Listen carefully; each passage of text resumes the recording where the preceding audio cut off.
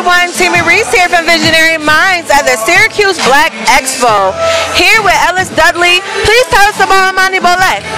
Amani Bawale is a youth African drum and dance troupe geared towards molding the minds of the next generation. We have a sense of uh, instill the pride in the youth because tomorrow we're going to depend on them. You think the Syracuse Black Expo is the important venue to have? Syracuse Black Expo is uh, fundamentally a, a, a, solid foundation for um, small black businesses to be uh, noticed worldwide.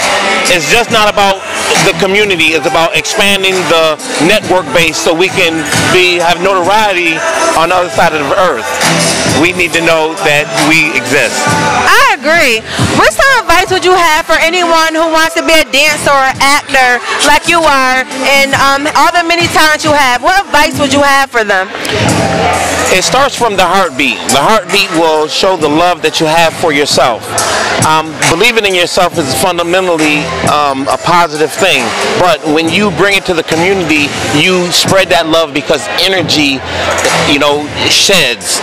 And when you have positive vibes, positive energy, um, you can uh, create a spider web, and a host of things that can come out of it are good. How can the people contact you? Um, I have a business card. The group is called Amani Bawale. Um, we're on Facebook under Ellis Dudley Sr. or Amani Bawale. You can also catch us on YouTube under a free program every Saturday on Saturday here at Southwest Community Center, 401 South Ave from 10 a.m. to 12.30 p.m. Our mission is to mold the minds of the next generations. Our target age group is five, eight, five years old to 14 years old. We'll catch them early. We mold their minds because the future is in our youth. You did great work. I'm so proud of you. Thank you. Have a good day. Peace.